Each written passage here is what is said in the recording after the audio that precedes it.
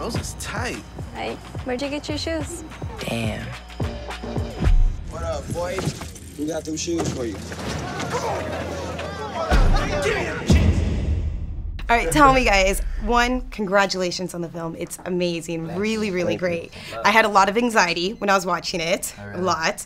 Um, but first, tell me, what's your relationship now with sneakers? It's still the same. The same. Nothing really changed. I've I've always been about shoes, you know, and like boots and all that. I've always just been about shoes. I didn't really change. I just For me, it's like my mom tells me I need to grow up a little, so mm-hmm. that's why I wore boots today. Okay. You know what I'm saying? but you know, I still got a pair, pair of Jordans in the, in the closet for sure. yeah.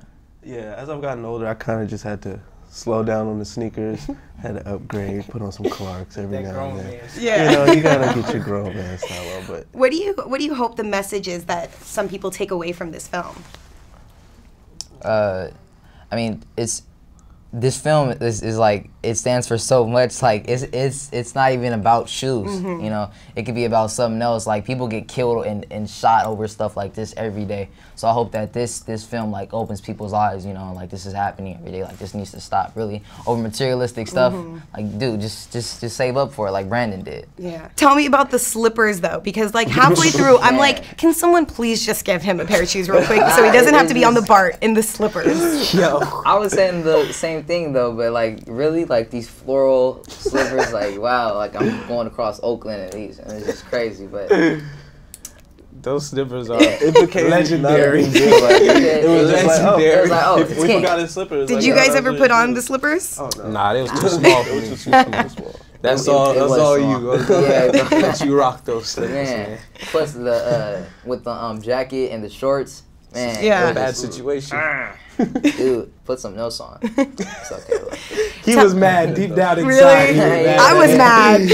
Yeah, I'm sure. yeah then with the dirty The shirt. dirty shirt. man, man. Clean tee. Did we get complaints about the slippers from Jahking? yeah, but he was a champion. Um, worked through it. Um, yeah, I wanted. Uh, you know, the funny thing is, he, the majority of the, of the story, he's just in his mother's slippers, and we actually got had them custom made with like I picked out the most floral, ridiculous fabric I could Yeah. find, and there's only two that exist in the world, so I have them. Um, Last sneakers you guys bought?